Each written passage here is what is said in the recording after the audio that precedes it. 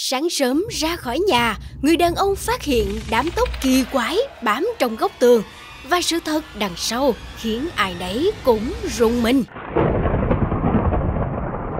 Theo lời kể của chủ video, sáng sớm hôm đó, khi vừa bước chân ra khỏi cửa, anh không khỏi bất ngờ khi trông thấy bên ngoài nhà xuất hiện một mảng màu đen rậm rạp như một nhúm tóc bám vào vách tường.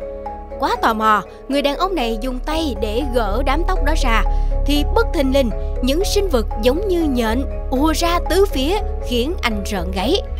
Thì ra đám tóc này chính là vô số chân của những con nhện tụ lại một chỗ tạo thành. Khi bị động tổ, chúng bỏ chạy tán loạn khiến cảnh tượng trông vô cùng kỳ dị. Sau khi xem đoạn video, nhiều người xem không khỏi nổi da gà và hoang mang trước cảnh tượng này. Tuy nhiên, theo tìm hiểu được biết, sinh vật này có tên khoa học là Obilones hay còn được biết đến với cái tên ông bố chân dài.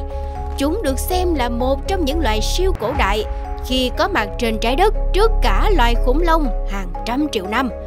Các thành viên chân dài này cư trú ở mọi châu lục từ Nam Cực và thường được tìm thấy ở các khu vực ẩm ướt như dưới tảng đá hay trong các khe nhỏ.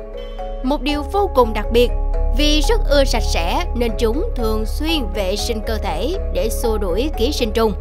Mặc dù thuộc lớp nhện nhưng Obilones lại không nhả tơ, cũng không hề có độc.